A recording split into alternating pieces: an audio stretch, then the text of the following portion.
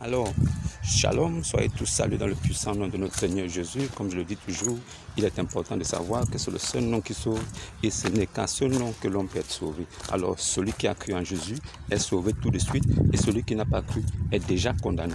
Alors, bien aimé, j'aimerais partager quelque chose avec vous pour vous dire, Dieu là, ce n'est pas le nom d'une divinité. Alors, si vous adorez un Dieu qui s'appelle Dieu, alors vous adorez le sujet d'adoration. Vous n'adorez pas quelqu'un.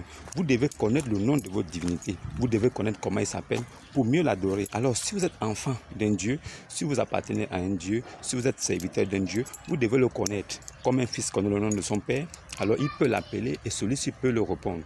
Alors, si vous dites que Dieu, c'est Dieu, ça veut dire que vous n'avez rien compris. Vous êtes encore des païens.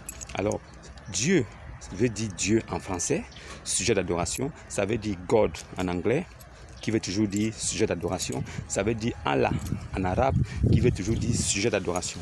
Alors, si un musulman adore Allah, il adore Dieu. Alors, Dieu là, il s'appelle comment? Donnez-nous le nom de Allah pour que nous puissions l'adorer en son nom. Un fils doit savoir appeler son père. Un fils qui ne connaît pas son père est un bâtard. Ceux qui ont compris ont compris. Shalom et à la prochaine.